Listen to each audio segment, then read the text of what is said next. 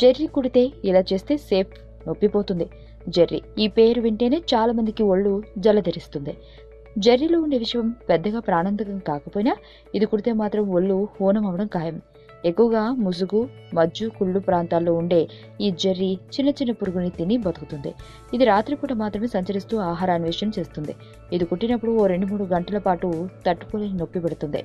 తీసుకోవాల్సిన జాగ్రత్తలు. జరి కుట్టిన వెంటనే కుట్టిన ప్రదేశాన్ని గోరువెచ్చని నీటితో కడగాలి. జరి కుట్టిన భాగాన్ని వేడి నీటితో ముంచిన గుడ్డతోనే కడగాలి. తద్వారా వేడి వలన విష ప్రభావం తగ్గే అవకాశం ఉంది. జరి కుట్టిన శరీర భాగంపై పసుపుని రాయాలి. ఆ ప్రదేశంలో వెల్లుల్లి పేస్టును పట్టుగా వేయడం వల్ల నొప్పి వాపు కూడా తగ్గుతాయి. లక్షణాలు. జరి కుట్టిన సమయం నుంచి పది గంటల వరకు విపరీతమైన మంటతో కూడిన బాధ ఉంటుంది. జరి కుట్టిన ప్రదేశం ఎర్రగా మారి మంట వాపు కలుగుతుంది.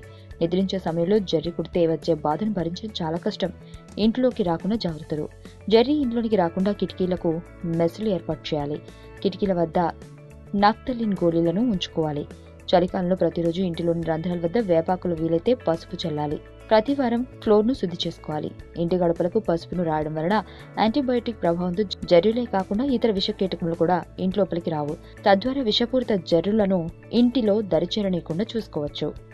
ఆరోగ్యవంతమైన జీవితం కోసం మనం పాటించాలి కొన్ని నియమాలని. చిన్ని చిన్ని చిట్కాలతో చింతలేని జీవితాన్ని ఎలా గడపాలి అనే దానికి వీక్షిస్తూనే ఉండండి మన ఆరోగ్యం యూట్యూబ్ ఛానల్. మరిన్ని ఆరోగ్య సూత్రాలకు సబ్స్క్రైబ్ చేసుకోండి.